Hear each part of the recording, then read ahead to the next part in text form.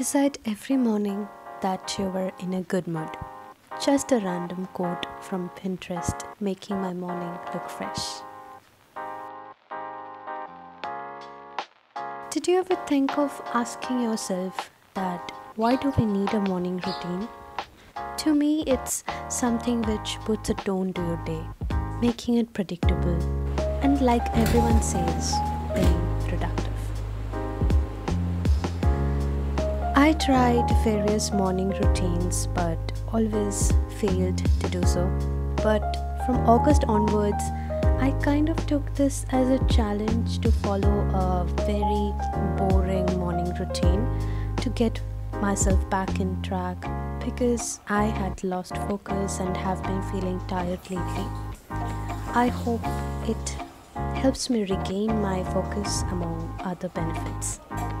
So, starting my day with a cup of warm lime water with a spoonful of honey has been a ritual because it stimulates liver and aids in detoxification, also improves skin condition.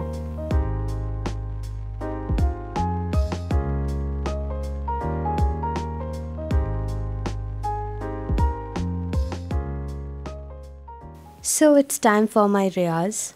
It works like meditation for me, and I always prefer practicing Rag Bhairav because of its gravity and divine attitude. If you want to know a complete breakdown of my morning riyaz, then do let me know in the comment section below.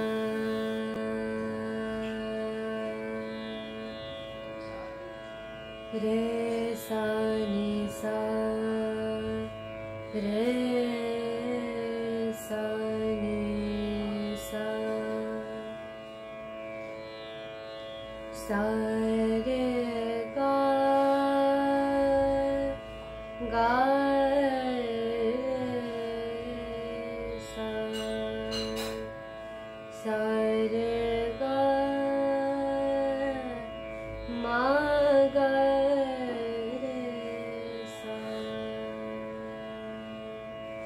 After I'm done with my riyaz, I just sit idle with my to-do list notebook inside or out, literally anywhere possible.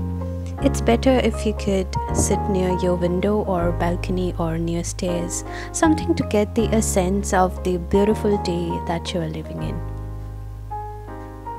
As breakfast, I'm having aloo paratha with half glass of juice and omelette and also kaju barfi, which is my favorite. Just took a shower after my breakfast in order to move forward with my day, and I think it was a great start. Thanks for watching this video. I hope you found this appropriate. Um, but it's okay if you don't have any uh, morning routine and all, it's completely fine. Do whatever that makes you feel happy, makes you feel comfortable. It's not mandatory to stay productive all the time. And uh, this game of productivity, it's dynamic, it changes with time. And uh,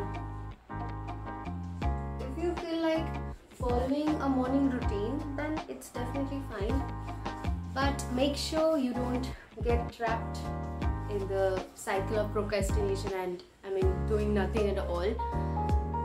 Once again, thanks for watching this video. I will see you in my next video. Till then, stay safe. Bye.